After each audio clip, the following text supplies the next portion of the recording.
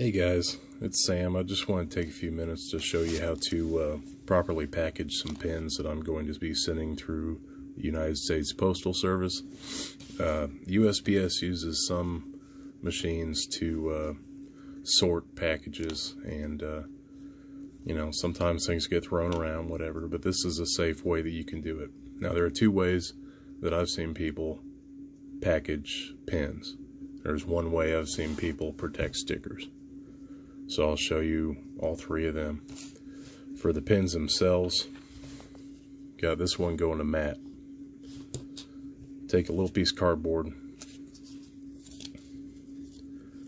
stick the pin through on the cardboard, put the pin back on to keep it in there. That keeps the pin itself straight from getting bent in transport. Now once you have that, take you an old piece of bubble mailer, cut you off corner or whatever's left of it.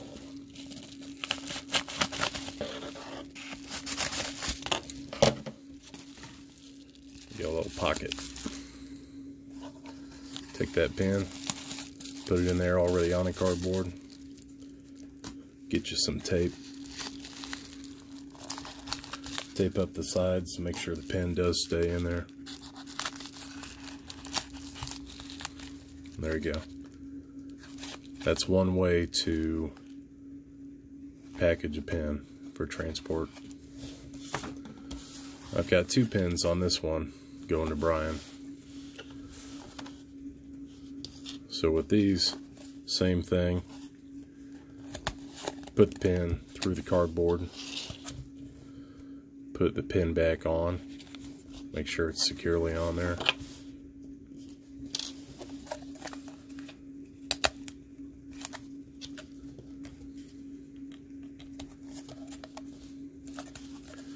Then go ahead and make you a little crease so you can fold over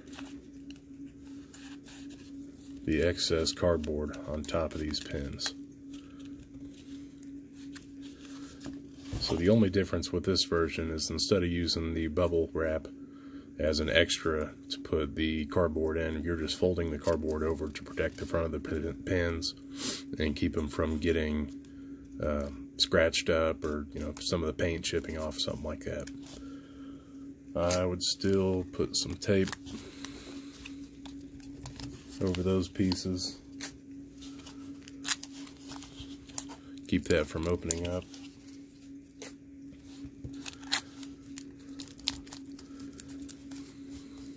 That's that. Now, one extra thing you can do, since the pin backs are exposed on uh, in this way, is take a piece of tape and go over that pin back just to keep it from popping off in transport.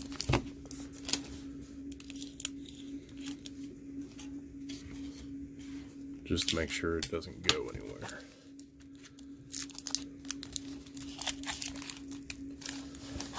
So there you go, and that one is for Brian.